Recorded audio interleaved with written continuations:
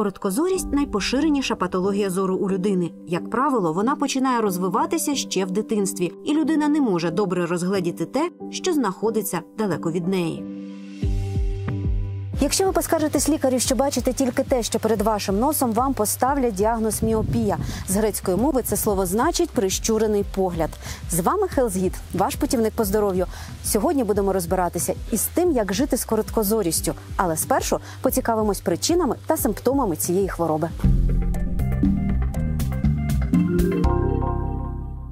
Розібратися із проблемою нам сьогодні допоможуть криворізькі офтальмологи. Анна Сергійовна, розкажіть, будь ласка, що спричиняє короткозорість? Це вроджена вада, чи можливо вона виникає протягом життя? Ну, Дивіться, міопія, короткозорість це одне те саме. Так?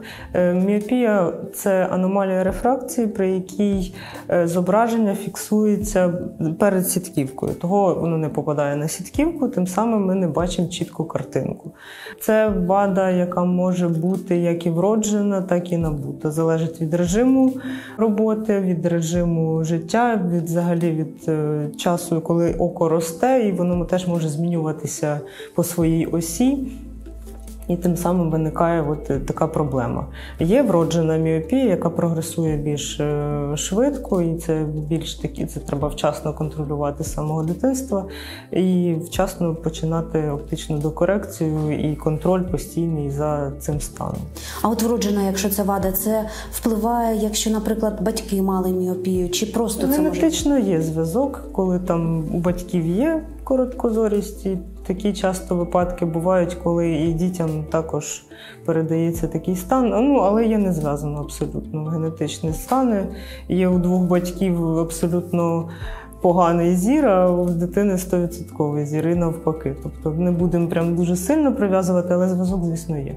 На що зазвичай люди скаржаться, от у кого є така проблема? Це тільки поганий зір чи є ще щось? Ну, поганий зір це перша скарга, коли погано бачать вдалину. Тобто при близькій роботі люди бачать добре, і це зберігається протягом тривалого віку. Наприклад, після 40 цей стан не зникає. Теж близька відстань добре бачиться. Так? А стосовно скарг, якщо це прояви такі більш ем, початкові, можуть скаржитися пацієнти на біль в очах під час тривалого навантаження на близькій відстані.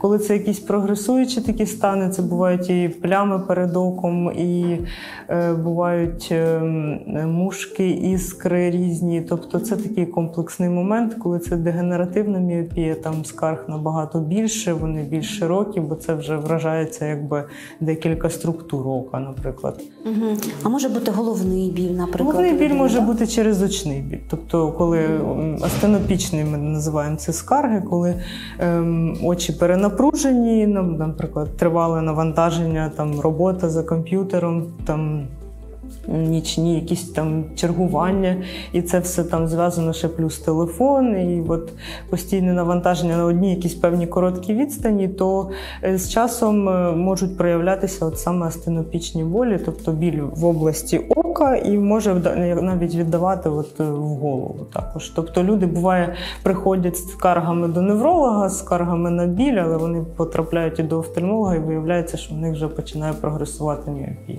От у мене була одна знайома знайома, в неї е, міопія набута через травму, і у неї були не просто болі, а вона навіть могла передбачати погоду. Якби да ну е, чому? Тому що от різні погодні зміни, да, і біль був ну от різний. Вона відчувала і говорила, що о, сьогодні болить так, як на дощ, о, сьогодні там сніг піде або вітер буде. Відкрили щось нове. Правда, такого вам не зустрічалось? Можливо, це просто я не можу сказати, що це прям характерно для міопії. Це більше можливо для травми. Можливо, в неї там були якісь там хронічні запалення після травми, і того це може реагувати в якійсь мірі там на е, може погодні умови, але все одно це таке не, не основний такий якийсь симптом, це дуже такий індивідуальний вже. Момент. Наскільки це взагалі хвороба складна і важка, і чи можливо її вилікувати? І які способи лікування є? Це не я не можу сказати, що це там складна хвороба. Це можна можна сказати, це рефракційні такі аномальні зміни. От але е, є різні ступені міопії, і вони на на кожному ступені лікуються по різному. Тобто, якщо це міопія слабкого ступеня, досить там до корекції вчасної е, окулярами, контактними лінзами. Е, якщо це там десь більші ступені міопії, додаються, ну крім докорекції вчасної, е, додаються також е, і варіанти, коли там треба оглянути добре сітківку, чи нема там вже якихось дегенеративних змін на периферії сітківки, чи немає відшарувань сітківки. Ну це вже будуть характерні скарги, але все одно це ризики вищі в пацієнтів. І також бувають вже такі в ускладнених випадках. Це коли міопія дуже високого ступеню, потоншується і сітківка, і судинна оболонка. Бувають центральні плями на сітківці, центральні розриви. Тоді це геть інші методи лікування, це вже там і введення спеціальних препаратів серед наука, тобто, щоб стабілізувати трошки стан і зберегти зір по максимуму. Е, а із таких, наприклад, крім, якщо ми кажемо до до корекції окуляр, окуляри є, лінзи є, є нічні лінзи також, е, є, е, якщо це більш такі радикальні вже методи лікування хірургічні, це лазерна корекція, є рефракційна заміна кришталика, є фактичні кришталики, тобто це які ставляться на поверхню свого кришталика. От, ну і це кожен метод має свої показання абсолютно. Світові лідери серед короткозорих людей Японія та Китай. До 70% населення там страждають через міопію. Причому в Китаї близько 40% учнів молодшої школи вже погано бачать. Серед студентів цей процент сягає 70%. Для порівняння у Сполучених Штатах Америки кількість дітей із міопією у чотири рази менша. Якщо ви подумали, що винні якісь національні особливості орієнтальних народів, ви помиляєтесь. Насправді причинами такого стану зору є надмірне навантаження на очі та несвоєчасна корекція зору.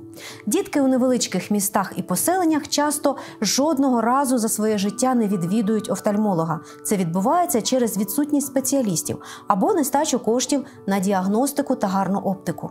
До того ж, китайська молодь мало часу проводить на свіжому повітрі або за активними заняттями. Очі буквально з'їдає доступна електроніка.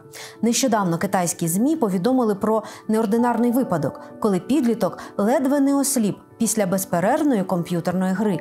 Вона тривала протягом 10 діб під час зимових канікул. Разом із тим, вчені відзначають, що у місцевостях, де люди живуть у природному середовищі, наприклад, у Папуановій Гвінеї, у віддалених районах Південної Америки та деяких африканських країнах майже немає короткозорих людей. Тобто, серед іншого, розвиткові міопії сприяють погана екологія та тотальне сидіння за моніторами і гаджетами. А ще відсутність можливості тренувати зір. Вчені помітили, що ті, хто часто фокусує погляд на далеких предметах, бачать набагато краще. Пам'ятаєте, яким гостроким був Леголас? Це все тому, що ельфи часто дивляться на зорі. А якщо без жартів, то насправді зафіксовано випадки, коли після початку занять, наприклад, альпінізмом, ступінь короткозорості людини значно знижувався. Втім, не подумайте, що в живій природі серед тварин, які комп'ютерами не користуються, короткозорості не існує. Так, більшість тварин та птахів мають чудовий зір. Орли здатні розгледіти зайця за 3 кілометри та стежити за польовими мишками з 200 метрів. У них гарно розвинений периферійний зір. А приматів в неволі або у дуже стареньких одомашнених тварин нерідко спостерігається таке порушення зору. Крім того, у природі існують тварини, які погано бачать. Наприклад, гренландські тюлені, які чудово бачать у воді, на суші виявляються майже сліпими. Тим часто користуються мисливці.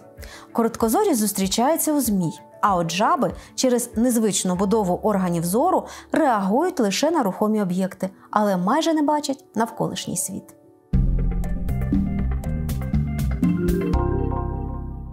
Епідемія коронавіруса, яка через дистанційне навчання значно збільшила час роботи дітей за комп'ютерами, спричинилася до зростання кількості випадків короткозорості по всьому світу. Лікарі дитячого офтальмологічного відділення говорять, що часто батьки навіть не підозрюють, що їхні діти вже мають міопію, що певні проблеми з навчанням у їхніх чат викликані не непосидючою вдачею чи відсутністю бажання навчатися, а першими проблемами із зором. Як можна попередити міопію? Як часто треба звертатися до лікаря? Если ребенок э, еще не болеет, то есть нет м, проблемы с близорукостью, то хотя бы раз в год желательно проходить обследование у детского офтальмолога э, для того, чтобы выявить своевременно и начать уже лечение. Сама профилактика, то есть если ребенок заболевает уже, то есть мы имеем проблемы с близорукостью, то желательно хотя бы раз в полгода, чтобы ребенок появлялся, чтобы мы видели динамику, то есть лучше, хуже, так как основное лечение этой близорукость этого заболевания – это ношение очков. То есть, поэтому желательно хотя бы раз в полгода проходить, чтобы мы видели, насколько комфортно ребенку, хорошо, необходимо ли уменьшать или увеличивать э, линзу. А также само ребенок может проходить специальную, э, если заболел, то терапию, то есть на аппаратах, тренажерах специальных, которые у нас есть, допустим, в отделении, это около 9 только тренажеров на близорукость, которые улучшают. Каждый из них по-своему воздействует. Ну, Одни воздействуют на кровообращение, то есть улучшают, чтобы глаз лучше кровоснабжался, э, лучше функционировали все нервы. То есть какие-то воздействуют аппараты на зрительный самоанализатор нерв, то есть помогают лучше работать колбочкам, палочкам, то есть которые находятся внизу в глазу и отвечают как раз за зрение.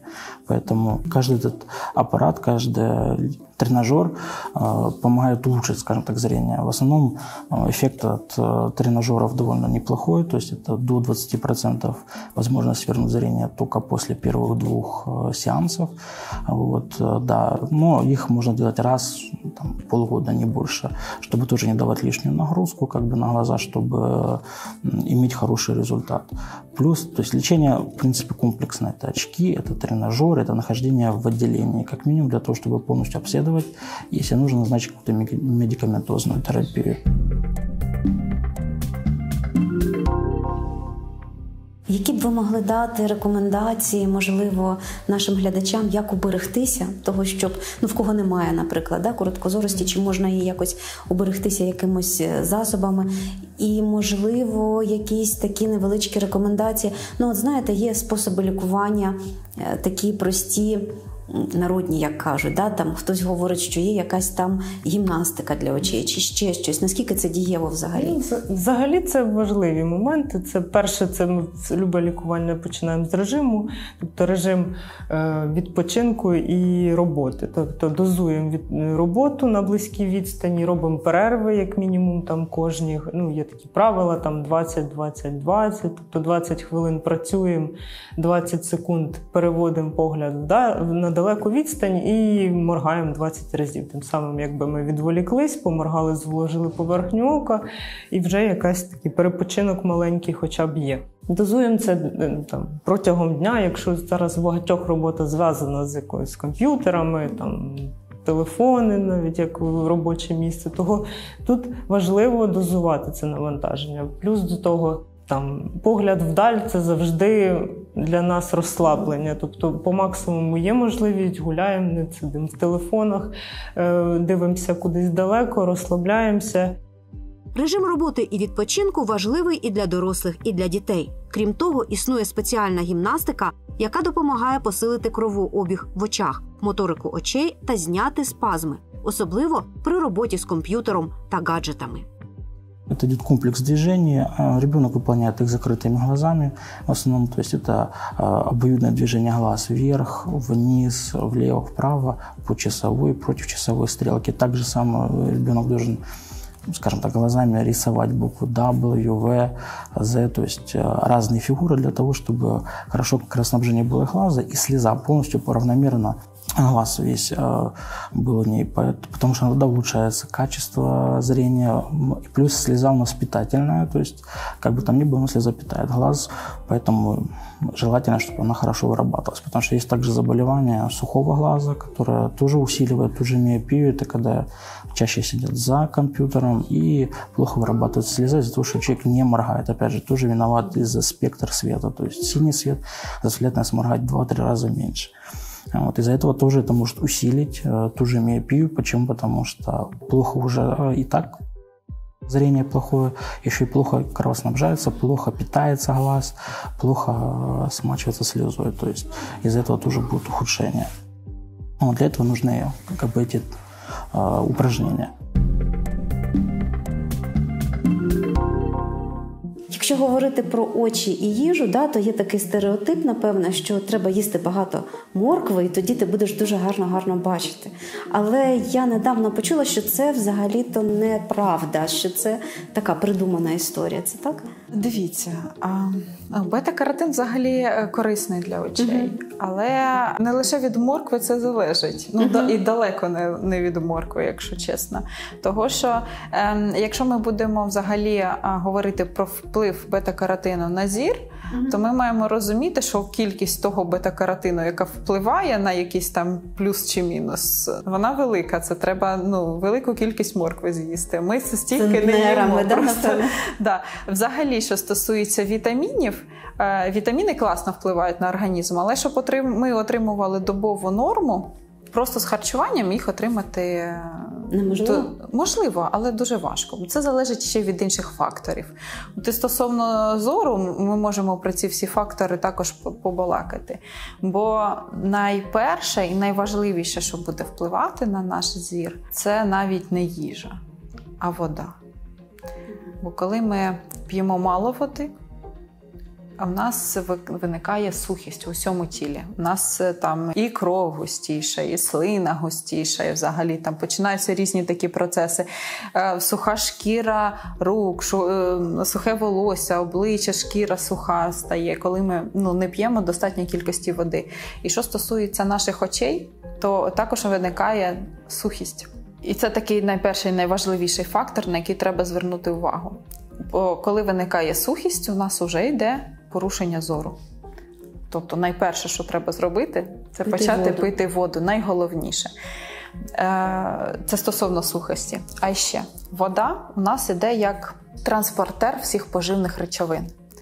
Навіть якщо ми будемо пити просто вітаміни в е, вигляді добавок, ми будемо їх там відрами пити, але при цьому ми не будемо пити достатньої кількості води, це Вони все буде дарма. Да? Да, да. Коли не вистачає поживних речовин для формування цієї клітини, і коли ми не п'ємо достатньої кількості, щоб вони ці поживні речовини до клітини доставили, е, у нас виходить клітина вже неповноцінна, вже як з якимись там порушеннями.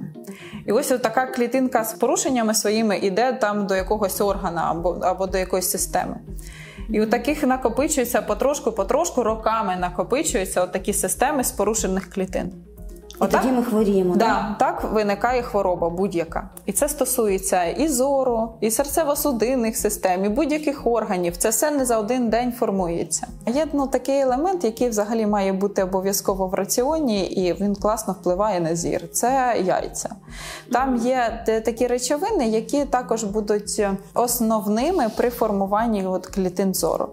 І ще а, дуже важливо в своєму раціоні а, е, мати горіхи. Але а, морква впливає ну, гарно на зір. Тобто можна трошки там навіть не покращити, як профілактика може бути. Це може бути морква, гарбуз, це може бути чорниці, ягоди, шпинат.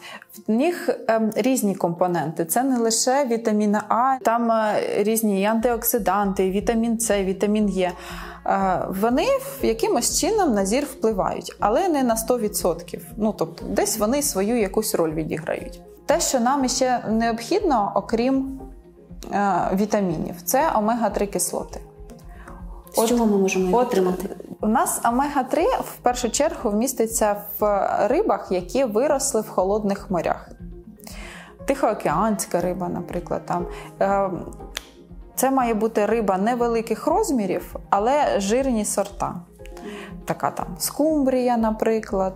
Дуже багато риби, яка продається у нас в магазинах, це риба фермерського виробництва. Та, що вирощена в басейнах на кормах. А вона вже не має той взагалі тих поживних речовин, які мала, мала б бути. І якщо в ній і є жири, не факт, що в цих жирах є достатня кількість омега-3 кислот. Тобто, по суті, ми ніяк не можемо перевірити, чи воно там є, чи його там немає. Да? Чого, от чого і радять омега-3 взагалі вживати в добавках. Раніше всім дітям давали риб'ячий жир. І це було не просто так, бо ну, риб'ячий жир він впливає і на нервову систему, і на розвиток мозку, і в тому числі на зір. І є дослідження, які показують, що там людина з проблемами з порушеннями зору.